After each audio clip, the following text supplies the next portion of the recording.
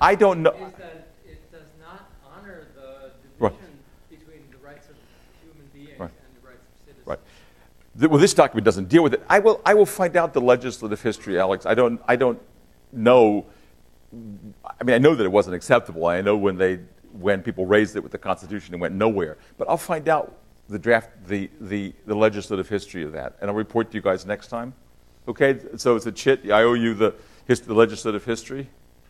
But, but it was the case, as you all know, who've done American history, that the, all the major founding fathers were, conf, were, conf, were, none of them were defenders of slavery. You can't be an Enlightenment person and defend slavery per se. All you can say is, look, um, this is the foundation of the American. If we're going to have a country, we're going to have. We're going to, and as you know, solving the issue of slavery ended up in a civil war. I mean, and that wasn't the end of it either with the Fourteenth Amendment. I mean, this is this is the great American story. Um, right? Uh, and we're still struggling with it. Um, but I will find out the legislative this, this shift in the in the. I mean, I put this. I should have done this as bad of me to put this in the reader and not. All right. It's not the it's not the breastfeeding time yet. Wrong for my sins. Um, all right. So let me now go briefly to just uh, to a criticism of these reviews and and. Uh, uh, the responses. And all of these criticisms are ones we're going to come back to. So I just want to give you a sketch to let you know that I'm, I'm on the case that you pointed out. Number one is that Rorty is simply wrong. This, this is an era of moral progress. In fact, it may be of not moral progress. And since the Second World War, there's an argument to be made that in many of these arenas, things are getting worse and not, and not, and, and not uh, uh, better. The second point to be made is that the capacity to know the feeling of someone else is not necessarily lead to feeling with them in a good way. It could also lead to feeling with them in a bad way. That is to say, to understand what another person feels like might also be a way to torture the person better. And there is certainly, um, and to understand what it is to be humiliated is be able to humiliate the person.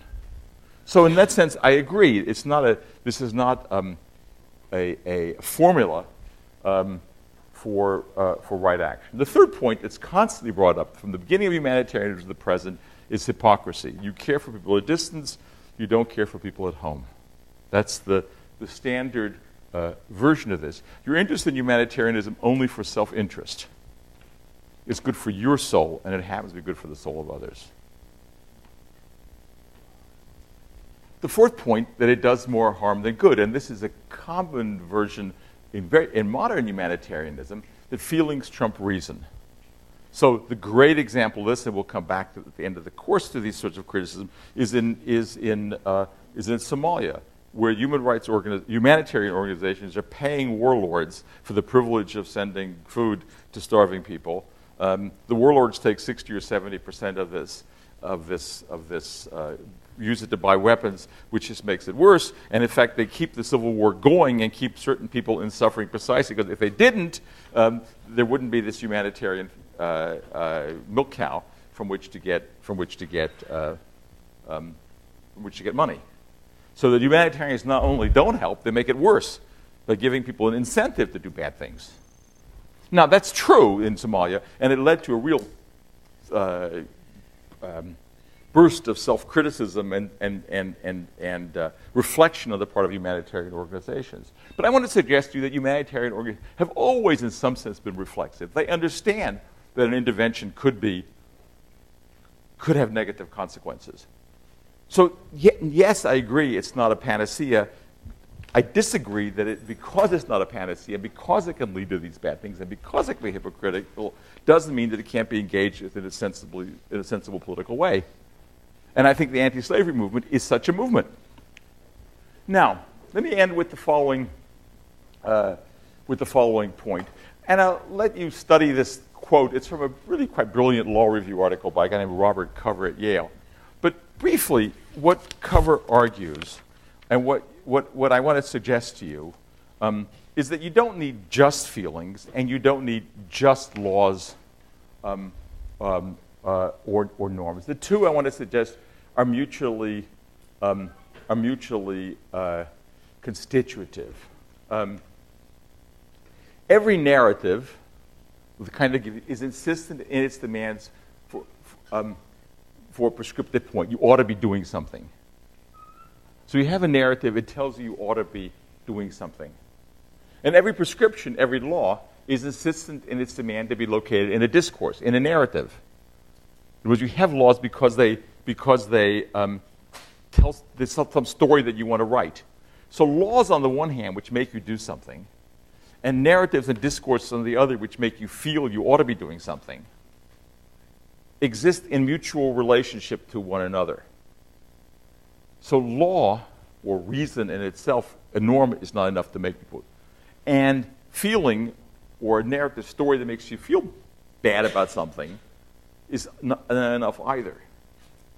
So the two are connected. And I think what you're going to see in the history of the course as we, as we, as we, as we move along is that this is the case, that narratives of the sort I've been talking to you about push laws for the making of laws, national and international. And these laws and these international, whether they're always debated is a second question, push people um, to create certain narratives about certain narratives about them in this sort of circle. So, um, so that's, that's, the, that's the, the, main conclusion. The other conclusion I wanted you to think about is that these books that were these books of examples that you read and the pictures you look at are in a way that's you could think of as sort of slow looking or attentive looking or attentive engagement. So I want to say it's an insistent regard to the work of art, um, not so much the work, but to, the, to, a, to a person and, and, and, to the, and the particularity of that person.